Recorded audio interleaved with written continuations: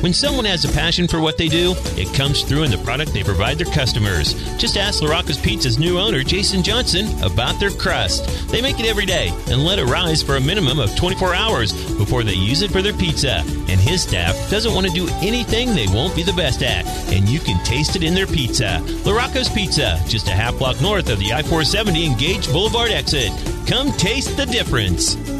It's the season for brand new mulch, and Brown's Tree Service has got your yard covered. Brown's Tree Service utilizes hardwood mulch that retains more moisture. Not only does mulch make your yard more appealing, it also reduces weeds, improves soil, and creates insulation for plants. Get the right mulch for your job at Brown's Tree Service. They shred it, haul it, and spread it in bulk. Or you can haul it yourself for the personal touch to your property. Call Brown's Tree Service at 785 379 9212 or visit online at brownstreeservicelc.com. It's time for Real Estate 101 with the Karey Brown team from Preferred Advisors. Thank you for joining me. This is Karey Brown, Associate Broker with eXp Realty and the Preferred Advisors team, and you're listening to Real Estate 101.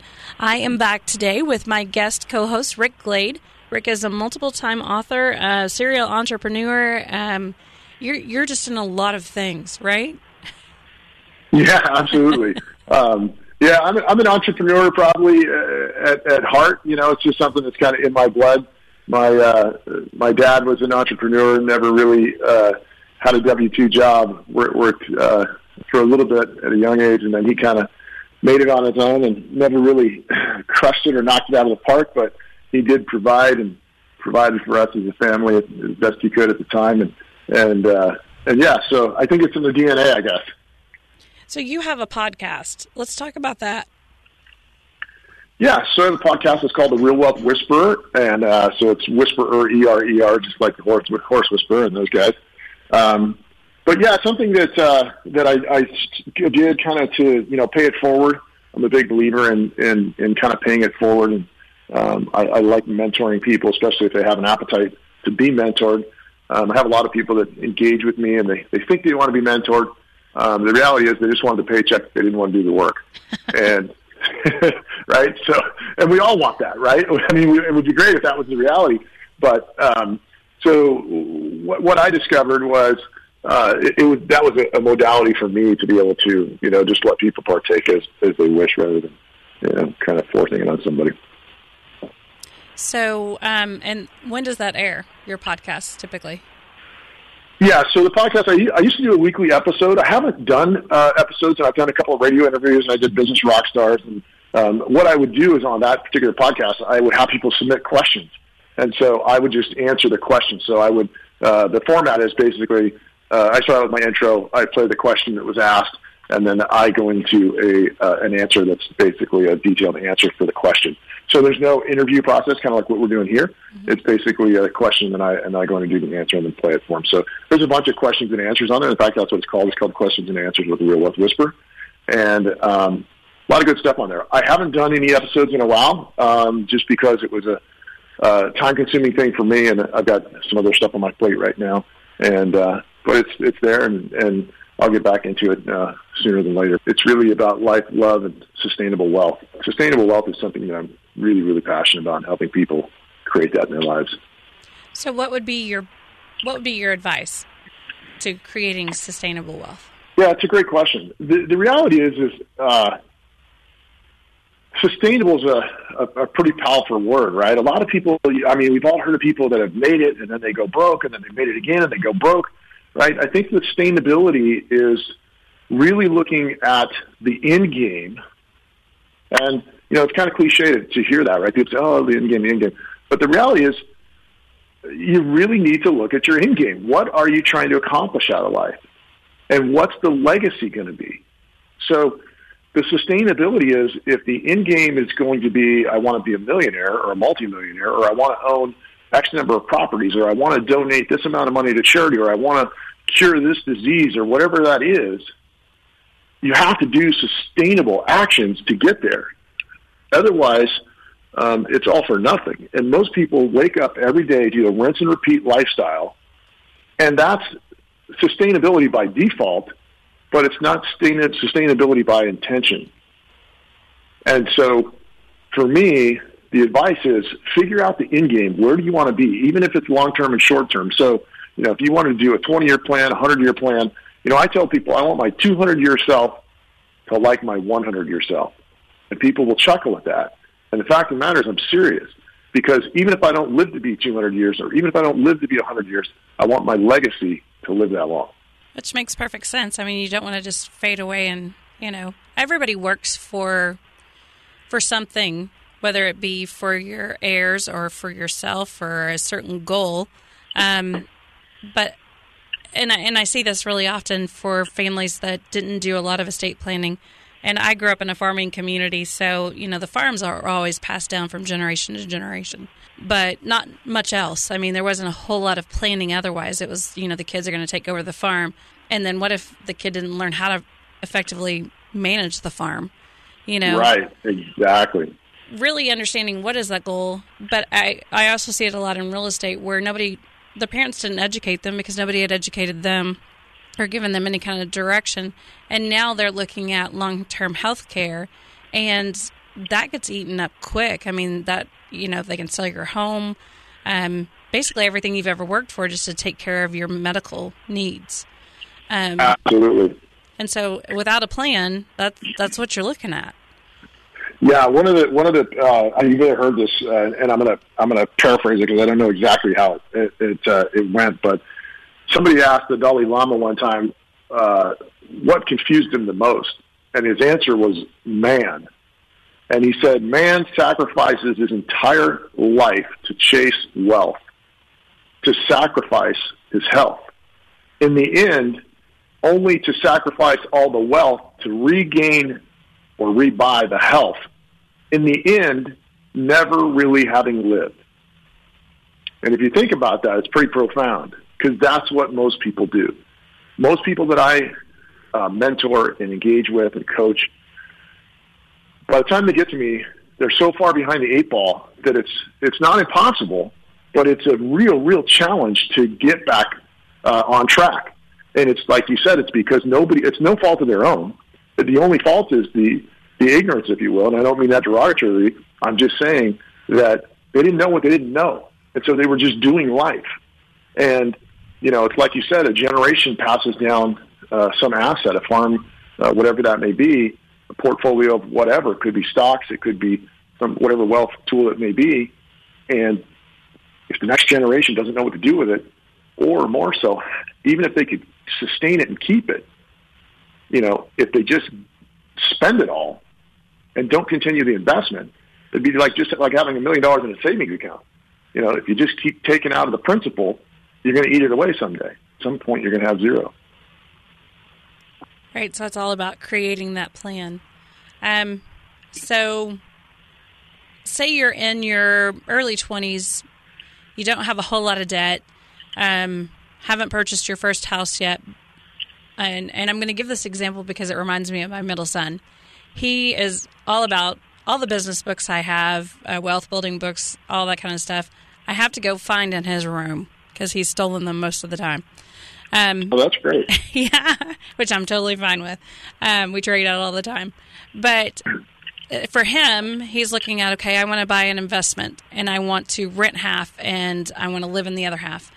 Um, and just start building wealth through real estate.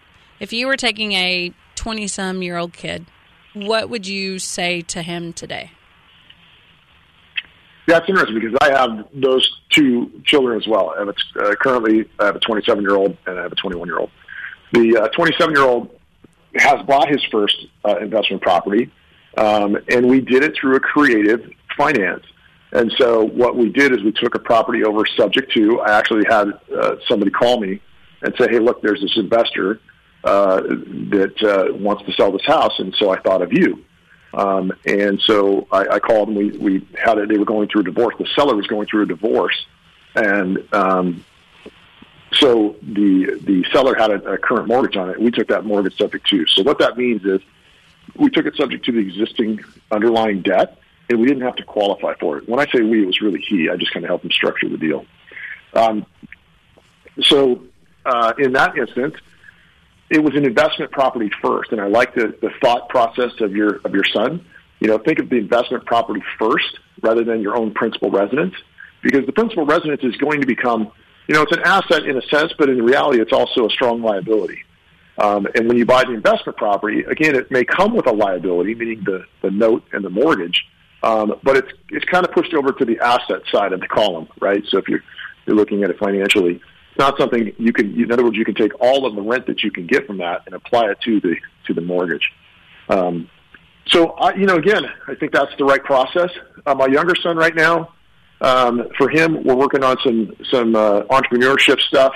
Uh, him and I are actually developing a website called Wealth Commitment. It's going to be a subscription membership type uh, website where uh, there'll be a free version for people, but then we'll have some other levels, um, and that's something again, wealth commitment being the name, uh, something that I'm very uh, passionate about having people commit to wealth. But you got to do the work, and that's um, where your son's starting, which is great.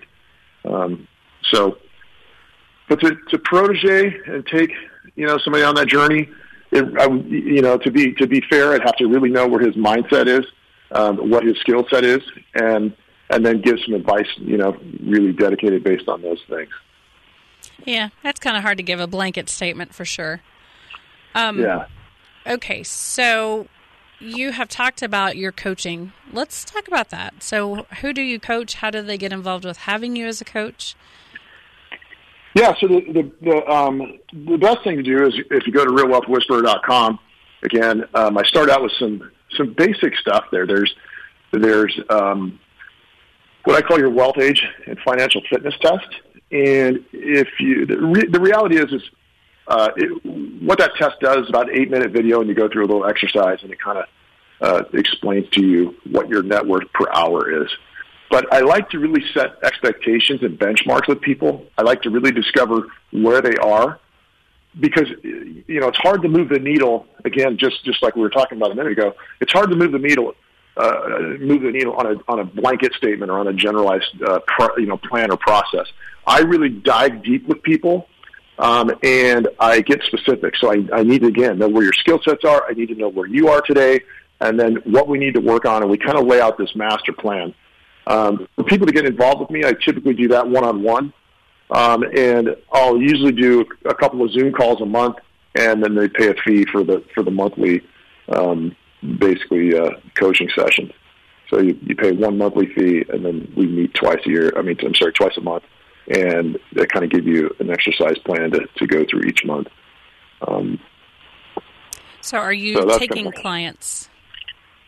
Yeah, absolutely. Yeah, I, I love working with people because, I, like I said, I'm really passionate about it, and I like to see um, the evolution of, uh, of people. Because when they, you know, when you start breaking this stuff down for people, just like we talked about in the previous episode, and some of the other episodes about uh, succession plans and you know how to get started and, and all that kind of stuff, uh, it's really it's really uh, rewarding for me to see people light up um, and and start to do stuff.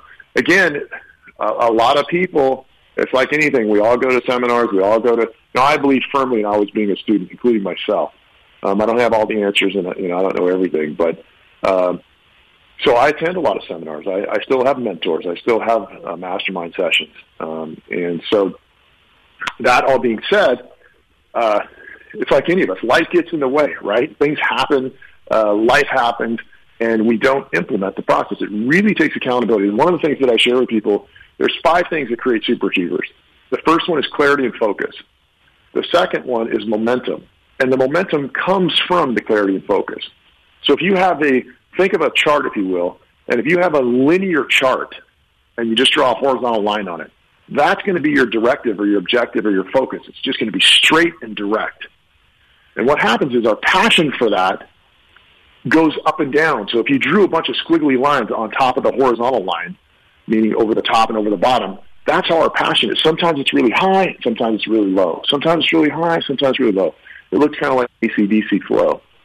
And all of those two, uh, those two things match the end with our skill set. I mean, the illustration might be hard to visualize, but when I illustrate it on paper, people really get it. So you have to have your passion at the top, your skill set as high as you can get it, and then that, that focus really linear.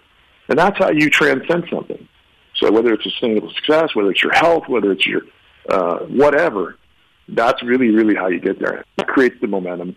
The third thing is the accountability, and that's where most people lack off, um, is that they're not accountable to themselves. So you have to put something in there to make you accountable, whether it's a penalty. You know, if we go down the road and the speed limit's 55 miles an hour and we're going 70, right? And we get a ticket, that's accountability, right? We knew what we should be doing, but we we're doing something else, and somebody else held us accountable. So it's just that simple. It's just a basic illustration. And then the third thing, uh, I'm sorry, the fourth thing is reinforcement. And then the fifth thing is environment. So I tell people that think of it like an addict or religion. And I don't care what your belief is in religion, it doesn't matter. I'm just going to illustrate that addicts in religion both have reinforcement and they both have environment. And so, you know, for the religion, they have Sunday school, they have, you know, the teachings in the Bible. For addicts, they have, you know, their 12 step programs and they have, you know, accountability through whatever it is, sponsors and those types of things. And then they have environment where everybody can congregate with leadership. And if you remove people out of those environments, typically they go in the opposite direction. And so just to recap, it's clarity, momentum, accountability, reinforcement, and environment. And that's how you create a super achiever. You have to have those things in that order. Um, and the last two are ongoing. The first three are self-induced, and they have to be um, something that's that's a practice.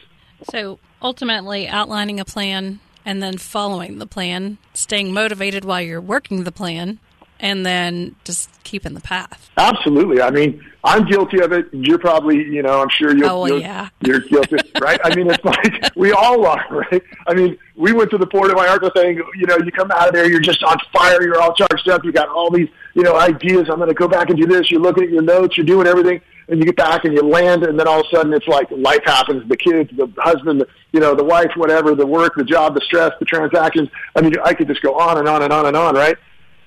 And then what happens, right? All of that momentum that we had right there just kind of stalls and starts to spiral, and then you got, you know, so it's really a challenge for all of us, not, you know, not me, not you, but everybody. And so it's really, really just working through that stuff on a daily basis. And that's where mindset comes in it really just takes a super dedicated, strong mindset. And most people give up. And like I said, the millennials, it's just so tough for them. It's no fault of their own. They're so used to instant, instant gratification. Everything's on their phone. Everything is instantaneous. And they don't see that, so they give up. Yeah, I but you know, I think that that transcends all generations. I mean, looking back at generations like my parents, their parents were still trying to find their way. A lot of them didn't grow up with anybody giving giving them direction. So we all have an excuse in some way, form, or fashion um, for not doing what we should be doing. Yeah, I agree. And you know, to your point, it's an excuse, right? That's exactly it. It's an excuse. And so when you can, you know, when you can when you can find a way to overcome those excuses, when you can find a way, you know, and, and here's how you find the way. You find the way is by looking at the end game and focusing on the purpose, focusing on the journey, right? Because otherwise the excuses will distract you and take you left and right. When you have the journey that is, like I said, if it's linear, there's no, there's no bifurcation from it. It's completely linear. It's like, here's the goal line. It's like, you know, it's like getting to home base, right? You hit the you hit the bat, you swing, you take the swing of bat. A lot of times you're going to strike out. You take the swing of bat, you might get a home run. You take the swing of bat, you might get to second base. But it's a journey to get there. But you always know where the destination is. It's home base. It's not I'm going to go run to first base, then I'm going to run to left field, then I'm going to run to right field, then I'm going to run back to second base. Right? It's really staying um, hyper focused on that home plate and whatever that home plate is for you. Absolutely. We're going to take a quick break for our word from our sponsors, and we'll be right back. Southwest Topeka has a good neighbor. State Farm agent Jim Garrison, now at 29th and Urish. If your current insurance situation has you going around in circles, get off the roundabout and stop in and meet Jim and his wonderfully efficient staff. Let Jim Garrison give you a quote and make the Garrison comparison. He's confident that with State Farm's competitive rates, the right coverage, and his unmatched service, you'll want to make him your new insurance agent. Like a good neighbor, State Farm is there, and Jim Garrison is there for you, northeast of the roundabout at 29th and Urish. When someone has a passion for what they do, it comes through in the product they provide their customers. Just ask LaRocco's Pizza's new owner, Jason Johnson, about their crust. They make it every day and let it rise for a minimum of 24 hours before they use it for their pizza. And his staff doesn't want to do anything they won't be the best at, and you can taste it in their pizza. LaRocco's Pizza, just a half block north of the I 470 Engage Boulevard exit. Come taste the difference. At SportsMomsUnited.com, we celebrate every athlete and support every sports mom. SportsMomsUnited.com is on a mission to put logic back in youth sports. When you ask young athletes why they play sports, their number one answer is fun. For them, that means being on a team, making new friends, having a good time, all of which are awesome memories. We add to the memories by featuring an athlete of the day and sharing their story. Nominate an athlete today at www.sportsmomsunited.com. Thanks for joining us again. This is Karey Brown, Associate Broker with eXp Realty and the Preferred Advisors team, and you're listening to Real Estate 101. And I am back with my guest host for the month, Rick Glade. Um, Rick, we had mentioned being actually at an eXp conference in Puerto Vallarta. Let's talk about how did why someone that actually didn't even need to be in a real estate brokerage at all decided to join eXp Realty. Ironically, I, I kind of accidentally, I call that a law of accident, right? So accidentally kind of fell into EXP. One of the top recruiters at EXP, him and I were actually at a multifamily a multifamily conference. So multifamily is basically commercial real estate, like mainly apartment apartment buildings and that type of stuff. So we were at an investment conference on the East Coast, um, and he had introduced me to the model of EXP. And for the, those people that don't uh, know the model, basically it's a Netflix versus Blockbuster model. And the old model of real estate was that there was a corner store, if you will, or there was an office on every corner, or as many corners as they could possibly populate. Um, and we all know that Netflix is on demand, online, and you know very rapidly uh, scalable. And so EXP has that same exact model where they're on the Netflix side of that, they're online uh, brokerage uh, nationwide and now internationally in several other countries. And I just saw the scalability of that business model to be very impressive. And I thought, wow, if you could actually parlay that model into other businesses outside of real estate, uh, what what a, a, you know just what an explosive growth you could have. And so the entrepreneur in me is what attracted me to EXP. Um, to your point of me not necessarily having to be there. By the way, let me let me make a statement about that. When you don't have to do something, it's a great place to be to make a decision. See, most people have to do something out of necessity. And so when you have the ability to step back, analyze something, take a look at a deal, take a look at a business, take a look at an opportunity, and not have to do that, not have to say yes, it's a totally different perspective It gives you a whole host of advantages over um, the opposite of that. Absolutely. Gives you kind of clear insight and um, it's not muddy. It's just right is what it is. Right. Yeah, absolutely. And yeah. you can make a ridiculous amount of money with EXP. Um, I mean, we're watching it all over the place and getting involved, not just watching. But um, it's just it's unlike anything I've ever seen in the in the industry. Yeah, absolutely. I I agree. You know, the, it really is EXP is really the bottoms up model of real estate, and all the former models of real estate, meaning where the brokerages controlled the leads, they controlled all the agents, they controlled the flow of the business. That was you know a top down model. And that's the old way. That's the kind of the blockbuster way, if you will. And EXP has really exploded the agent centric model and taken a bottoms up approach, which means all the agents are really in control of the business and they're in control of their own destiny, not only just through the income side, but through the business side. So you're in control of your leads, you're in control of your daily, you know, input into the systems that they have. Um, you're in control of the training that you can partake of that is ready, available on demand and so again, the scalability of your of your own personal business, forget EXP as a company, but you as an entrepreneur, the scalability and the way you can partake of the residual income component that they have, you can really, really explode not only your sales growth, but you can explode your residual income uh, through a passive measure on the on the backside of becoming a uh, agent attractor with the company. So our Puerto Vallarta trip was really more about how to, well, number one, how to to properly tell what EXP is about, but also how to invest the money that you're making. And to give you a quick story, um, I sat at dinner with um, Rob Flick, and Rob at one point had uh, had lost everything. He had been diagnosed with cancer, um, and this was years ago. Um, was a high rolling Coldwell Banker agent. Not that there's anything wrong with Coldwell Banker. Love Coldwell Banker. And um, he, he lost it all. And he said, you know, I wasn't supposed to live, and lo and behold, I lived, but we didn't have anything left. We were living in my parents' basement, my, me, my wife, and my kids. And um, he said, so I had to start all over because guess what? I lived.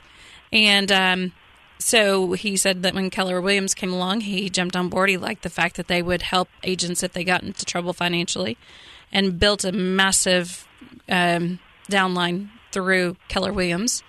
Um, and then he was approached about EXP. And um, he said that he saw the growth, he saw the ability, he saw, he just, it all made perfect sense. And it was going towards a direction that he felt that the industry would go towards. So he left Keller Williams and came to EXP, um, and then built this wealth that he never would have thought possible. So now all of a sudden he needs people to tell him where to put it. And so that just goes to show that EXP is building, and the people involved are building such wealth that they're like, hey, somebody help me. I don't know where to stick this stuff anymore. Not that I have that problem yet, but I want it. Yeah, absolutely, yeah, absolutely. No, and, and what's ironic is Rob and I, again, he's the one that I met in, in the Boston conference, the multifamily conference, and so uh, we've known each other for a while. And uh, uh, to to the point that you mentioned, it's exactly what I mentioned earlier uh, about people are behind the eight ball. So people obtain certain things, or they get passed down uh, an amount of wealth, and they don't even know what to do with it. See, that's the scary part and so Rob's at a very scary crossroads right now because what happens is he's having to make decisions, having to make those decisions based on urgency rather than having the intentional and sustainable planning that we were talking about all along. So the key is you have to do these layups along the way just in case, just in case I win, just in case I hit the multi-million mark, just in case, you know, whatever it may be for you, right? Um, but you have to do that intentionally. And so now there's all this bobbing and weaving going on, trying to figure it out. And the reality is, you want to do that along the way. Can't, I can't stress that enough because you make the proper decisions that way. Absolutely. And for him, I mean, to go from one minute thinking, you know, there's a there's a deadline, I'm going to die, to now all of a sudden they travel all the time. You know, he's he's got the life that he always wanted and he dreamed of, but I have this money and I have to figure out where to put it. So yeah, having friends you know like you is a good thing, right? Absolutely. Absolutely. And one other thing I want to I want to stress um, right here that you, you just kind of touched on. You know, for me, I, once I kind of hit a certain benchmark, I kind of took a step back and I said, "Well, what's what, what's this really all about? What's this for? Why so many zeros? Why so much money? Why why X? Right?" And then I started kind of focusing on my own personal journey of health and and and, and wellness. And not that I wasn't health, healthy or, or well, but I really started to focus on, if you're going to have, even if you're not going to have, let me let me rephrase that. You're not going to have, but if you're going to have, you know, some type of wealth, I want to I want to be healthy enough to enjoy it. I want to, you know, so for me, I trademarked uh, two things. One is be wealthy, and wealthy is actually W H. Uh, I'm sorry, W apostrophe H E L E A L T H Y. So it's wealthy with a W H uh, with an apostrophe in the middle. And the reason I did that is because wealth and health go together. And most people don't realize that. They focus on, like I said, the Dalai Lama, right? They focus on one or the other. And most of the time they're focusing on the chase of money and sacrificing all their health. So it's really, really important. And to, you know, to Rob's journey, he was crushing it you know, commercial real estate agent living in an 8,500 square foot house, all the stuff, all the all the bells and whistles that we all think are important, and really what we're doing is just trying to impress our friends that don't really have a dog in our race anyway. And then to have it all suddenly wiped out by one doctor's phone call, that's scary, and that can happen again to any one of us. We are already out of time again, and I'm really excited because our next segment we're going to be talking about how to make sure that you're staying healthy while you're building wealth. So be sure and listen to that show. Thanks again, Rick, for joining me. And um, we will be back next Saturday. So be sure and listen to Real Estate 101. Thank you for listening to Real Estate 101 with the Karey Brown team from Preferred Advisors.